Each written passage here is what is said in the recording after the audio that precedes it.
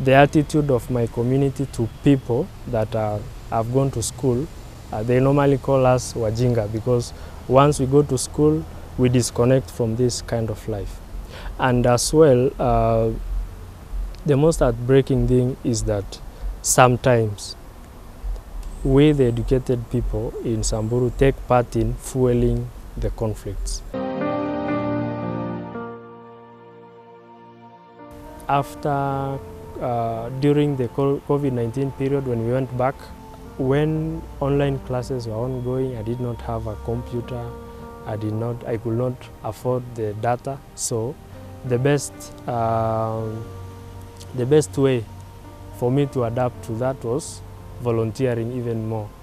So I, I led a team of COVID-19 response in Samburu, uh, where we were disseminating the information of COVID-19, uh, how we can collaborate with the communities. Uh, we were collaborating with the Ministry of Health and the communities to make sure that uh, we curb the spread of the virus. Uh, we really, it really created a very big impact because Samburu County was not that affected because we were on the ground. Yeah, so uh, I was very humble to, to be leading. I was leading a team of very big people, the school, the school heads, uh, school head teachers, uh, experts in their own way, uh, but I was just a first year who had run away from a tough life of Nairobi to come and volunteer. So, and uh, when uh, we resumed classes, online classes, uh, in May, yeah, in May, I tried my best. I registered three courses. Uh, we were given a maximum of three, of three because it was like a pilot. And uh, when I registered, I tried my best. We were promised some bundles that were never working. I, was, I used to borrow uh, a computer from uh, my colleague. We were working together in Samburu Doctors Plaza. So when I came back, I was working in Samburu Doctors Plaza, and during my free time, I go and volunteer uh, in Kenya Red Cross Society. Yeah, so uh, Mary uh, was giving me her laptop. I used to go study in the morning and then uh, give her the laptop back. And uh, there were these bundles that uh, Safaricom and Tangaza had partnered to uh, to offer us 10 GB at 500 shillings. I bought. Unfortunately, that was the, the only amount I had at that time. These bundles were never working, so I was not able to do uh, as much as I anticipated and uh, the much that the school uh, was also expecting from me. So I, I got two courses dropped because I did not finish uh, the assignments. There were so many assignments. Uh, so I remained with only one course. So this one course, uh, I could now manage it well because sometimes uh, uh, you, uh, you just use a little cash to attend one class and uh, some time to do the assignments and all that. And in, in the same year, by the month of May, the International Federation of the Red Cross rolled out uh, a program where young people from across the world would uh, think of uh, something that is affecting the community in relation to COVID-19, how the virus has affect, affected the community, and come up with innovative ideas of helping the community recover from the effects of COVID-19. Yeah, so they were taking uh, 500 innovative ideas across the world. I did my application. I submitted two innovative ideas. One of it was focusing on uh, reproductive health because um, our research had informed us that uh, the teenage pregnancies during the, the COVID-19 uh, pandemic, during the homestay, uh, during the lockdown period, uh, a lot of students uh, got pregnancies. It's because the environment of staying together afforded them the time to create relationships and fall in love and that is how the pregnancies came out. So uh, our intervention was on providing reproductive health education, uh, providing sanitary towels to the uh, uh, teenagers with uh, uh, coming from poor backgrounds because that was also one of the of the reasons why they could easily be lured into a relationship because someone is going to buy you some sanitary towels. So that was our intervention. And the second uh, innovat innovative idea was uh, using now this Waterstep tool. We were trying to help the community because by that time COVID-19 was not uh, fully uh, out of uh, our lives. So we were trying to make sure that we educate the communities uh, and we give them the tools. We give them uh, the innovative tools so that they can promote their hygiene, they can promote uh, their sanitation, and as well uh, they could engage in uh, business of selling bleach because once we trained them, we gave them the tools, and uh, they they could engage in business. So our focus was on promotion of hygiene and sanitation, uh, providing health education, and enhancing livelihoods be, uh, through uh, training them on how to engage in business and uh, sometimes create uh, avenues for them. Yeah, so we trained schools, uh, we trained religious centers. We were focusing on places that attract large numbers of people. So that is how we chose the schools, the prisons, the religious centers, people living with disabilities, and uh, children's homes, rescue centers. Yeah, so all these places we trained them and we gave them the tools. And uh, one of the most uh, touching uh, story was that of a, a special school called uh, Senea Special School. Uh, this school holds a number of uh, people living with disabilities, children uh, that are mostly children. So uh, most of them suffer cerebral palsy and they soil themselves more often. So the environment needed some intense sanitation.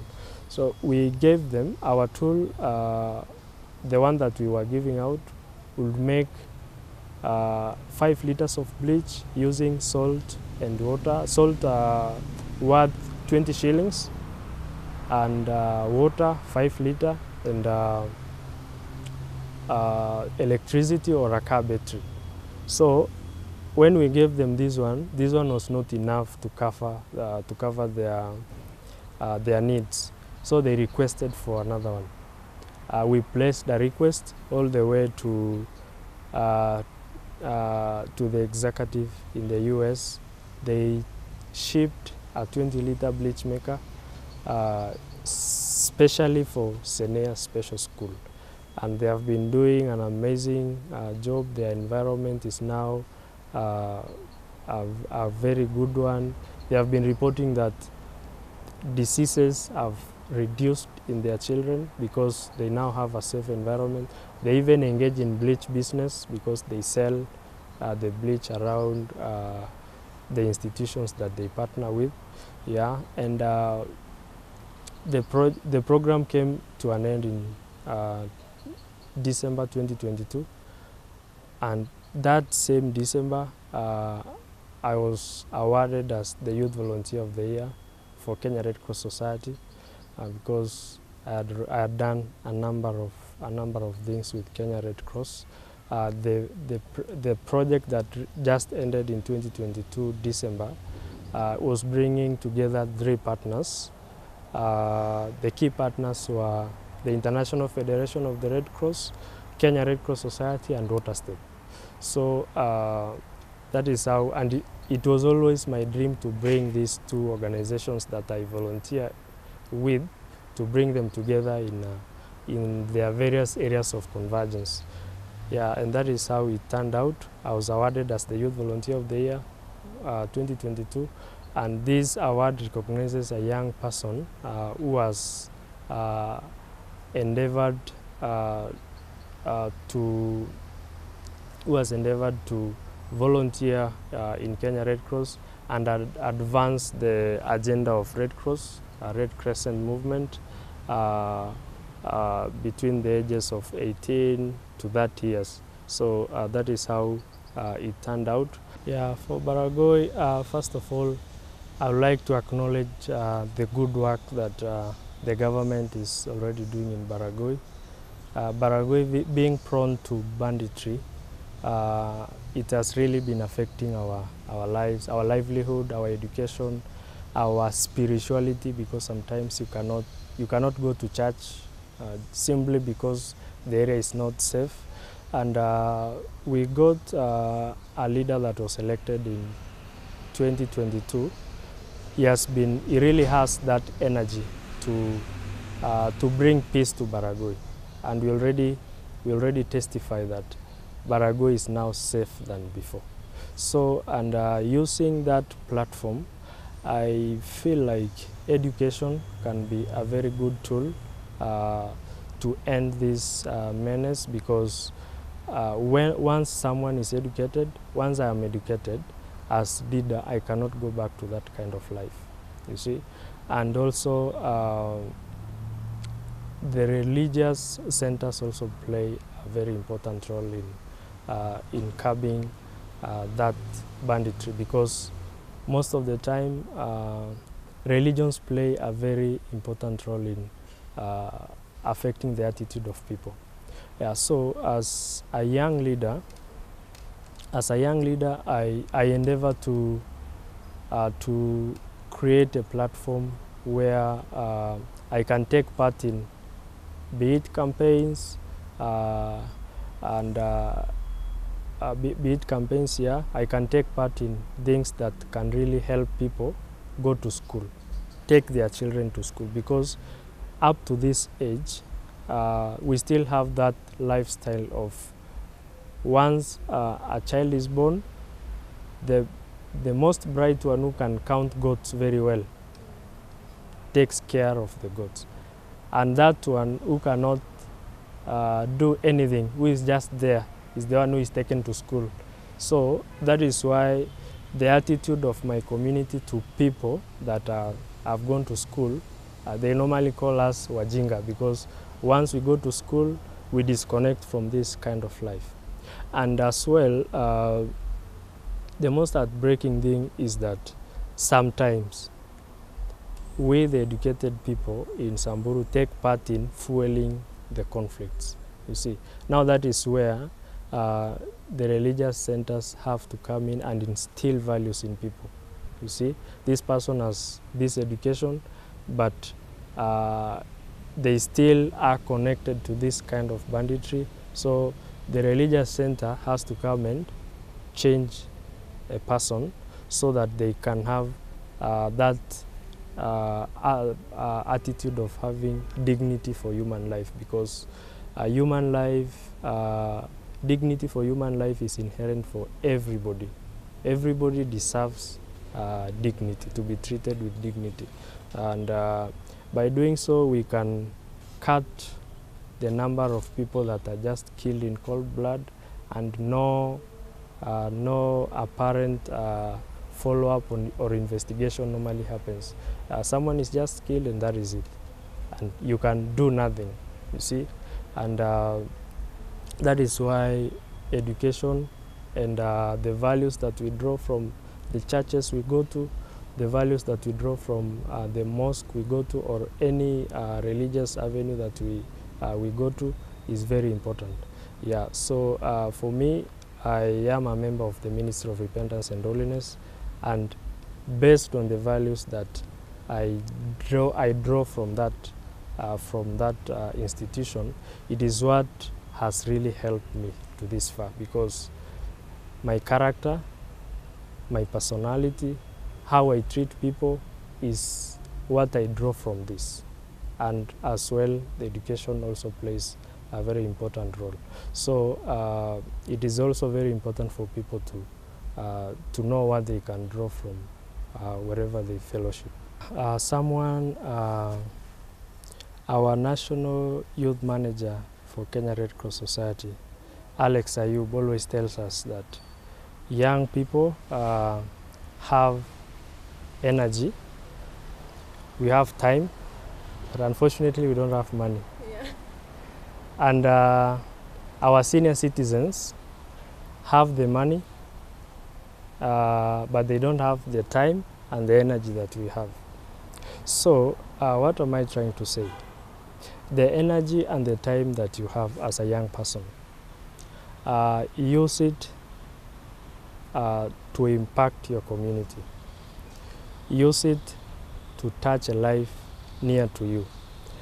And use that time and the energy that you have to be useful to your own family, to your own parents, your siblings, and your the church you come from or your religious center that you come from. Uh, use that energy to be useful to the society at large that you come from, to the nation, and uh, take part in volunteer opportunities. It is through volunteerism that I'm here today. I'm seated here telling my story because I began volunteering with Kenya Red Cross Society uh, uh, around six or seven years ago. And uh, that is what uh, really made me stand out even in the interview for coming, uh, having the scholarship in Tangaza University. And uh, that is what connected me to Waterstep. And by the way, uh, at the end of this year, I may also represent Waterstep in the United States of America.